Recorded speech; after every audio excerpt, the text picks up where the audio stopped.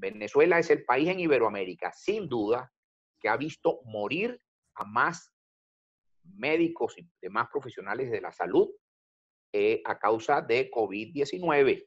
Casi una quinta parte de todos los decesos a escala nacional son médicos, enfermeras, paramédicos y un e ingeniero biomédico. Eso no se vio ni siquiera en los países europeos del sur, que como España e Italia vieron el peor rostro de esta epidemia en Europa.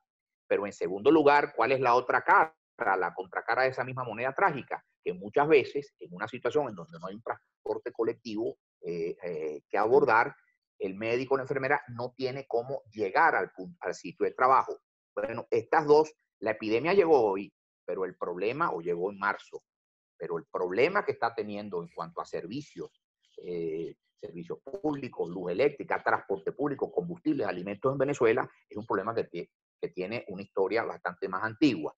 Que vamos a seguir viendo más enfermos y que una, como dijeron las proporciones de los colegas chinos, una quinta parte de ese total de enfermos va a requerir ser admitida a un hospital y un hospital no es un catre con un colchón en el poliedro de Caracas. Me dispensa, pero quien te habla es administrador de hospitales y profesor de la materia.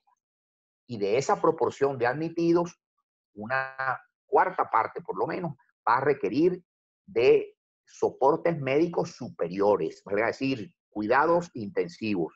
Y debo decir algo ya no tanto como médico y responsable de la educación de estos muchachos en que quieren serlo, como ciudadanos venezolanos. Una máquina, una cánula de alto flujo, que es la que se requiere para el manejo de estos pacientes, tratando de evitar llevarlos a un, a un, ventilador mecánico, Mariana, estimados eh, estimada audiencia, es bastante más barata que una máquina de votación, hay que decirlo. Mm. Mm.